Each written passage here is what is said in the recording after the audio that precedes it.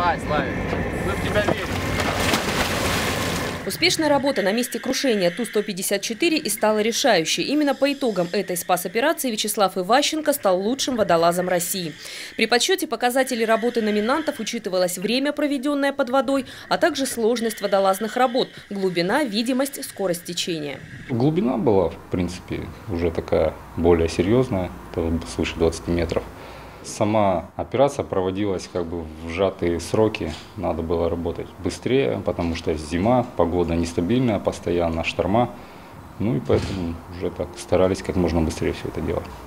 Жизни людей Вячеслав спасает 14 лет. Именно столько он работает в ЮРПСО.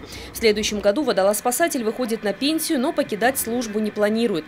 Ведь 220 поисково-спасательных операций – это далеко не предел. Самые же крупные из работ, в которых участвовал Вячеслав Иващенко – это поиск группы спелеологов, попавших под лавину в Абхазии, ликвидация последствий разлива нефтепродуктов в Керченском проливе, работа в полевом медицинском госпитале на границе с Украиной и ликвидация последствий наводнения в Крымске. Мы можем также отработать работать и на скалах, в пещеры можем сходить, кого-то там поднять, если вдруг что-то случилось, вынести наверх. ДТП в городе отработать. Там. В общем, весь спектр работ мы делаем. Но все равно есть людям, вот, что ближе, да, по душе. Ну вот, мне больше как бы водолазная работа. Мама у меня водолаз ну, занималась. Может быть, гены какие-нибудь, не знаю. Тихо и спокойно под водой. Сочинские спасатели ежегодно подтверждают звание лидеров. Лучшим спасателем прошлого года также стал сотрудник ЮРПСО. Вячеслав же таковым признан уже не в первый раз. Как и все спасатели, преданы своему делу, работающие не столько за зарплату, пожалуй, а вот э, за ту возможность реализовать свои